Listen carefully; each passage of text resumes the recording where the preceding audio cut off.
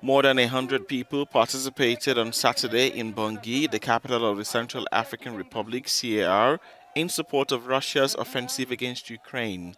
The demonstrators gathered at the foot of a statue inaugurated in late 2021 by President Faustin Archange Touadera, representing Russian fighters protecting a woman and her children. We recognize a friend in suffering. When we were in crisis, it was Russia that came to our rescue to liberate the country.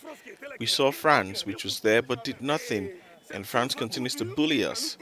We have to tell certain truths today. Russia is coming to liberate us. Now we are free and we must support Russia at all cost until our last breath. Russia came to our country in the moment of crisis. Our country has suffered. Our country has been mistreated by the rebels. And that is why we came to support Russia.